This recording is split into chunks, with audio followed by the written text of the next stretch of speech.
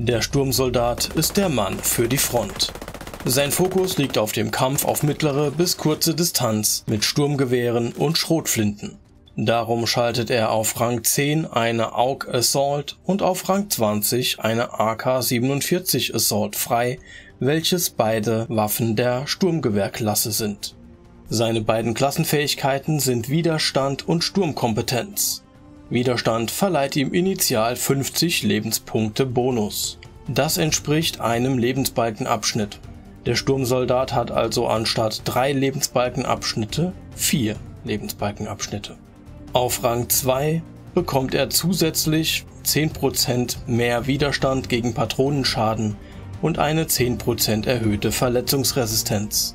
Durch seine Fähigkeit Sturmkompetenz bekommt er bei Benutzung von Sturmgewehren und Schrotflinten initial einen 10-Punkte-Bonus auf die Genauigkeit und einen 10-Punkte-Bonus auf die Mobilität.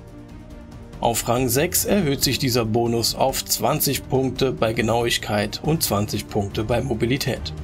Sein Klassenobjekt ist die Gasgranate, welche Schaden über Zeit in einem großen Bereich verursacht. Die Klassentechnik des Sturmsoldaten ist der Kampfgeist. Durch Anwendung dieser Technik wird der Rückstoß reduziert, der Schadenswiderstand erhöht, der Sturmsoldat erhält Heilung durch Kills und kann durch Kills auch die Dauer der Klassentechnik erhöhen. Um seine Klassentechnik aufzuladen, kann er Gegner töten, Gegner auf kurze Distanz töten und Gegner mit Sprengladen töten. Außerdem kann er die Klassentechnik aufladen, indem er Schaden an Drohnen verursacht. Wie kannst du den Sturmsoldaten nun richtig spielen?